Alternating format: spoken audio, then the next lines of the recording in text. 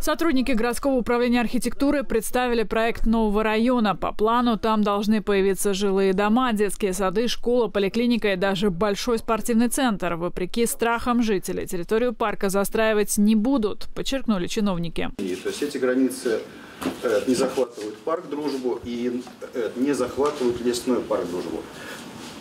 А, Значит, данный проект э, разрабатывался в соответствии э, с действующим правилом землепользования. Но люди все равно переживают. Несколько домов должны появиться на поле рядом с лесной зоной, там, где обычно проходят лыжня и гуляют местные жители. Но в мэрии заявляют, это не поле, а пустырь, который принадлежит нескольким частным лицам. Жители не понимают, почему городская земля стала чьей-то собственностью. А я бы хотел, чтобы вы предоставили доказательства, на каком основании эти земли оказались собственности.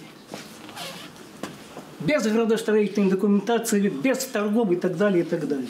На этот вопрос чиновники сразу ответить не смогли. Инициативная группа уже составила петицию против застройки, собирают подписи. Мнения разделились, часть жителей поддерживают планы мэрии. Люди хотят жить в микрорайоне с развитой инфраструктурой. На общественном слушании мне э, большая часть вопросов э, проектировщиков удовлетворила, и четкая позиция городские власти дали понять, что застройки парка «Дружба» не планируется и не будет. Это самое важное. Инфраструктура будет развиваться, это тоже очень в нашем современ- современном мире очень важно. Главное опасение большинства жителей не увеличится ли площадь застройки в будущем. На этот вопрос ответили в Министерстве природопользования. Ведомство не даст разрешения застраивать особо охраняемые территории. Кстати, был вопрос о том, да, как обеспечить, гарантировать э, не застройку действующей ОПТ парка «Дружба».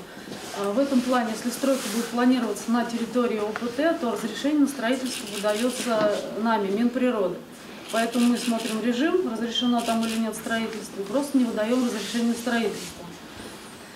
То есть здесь каких-то опасений, проблем не должно быть. Помимо застройки, внимание обратили и на транспортную систему. В новом районе обустроят парковки, а также составят маршруты автобусов так, чтобы расстояние между остановками не превышало 500 метров. Мэри подчеркивают, главное в согласовании плана – прийти к компромиссу.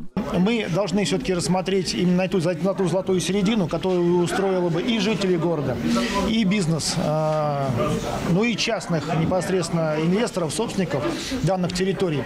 Мы не можем это тоже игнорировать. Как я сказал, мы рассмотрим все замечания, все предложения.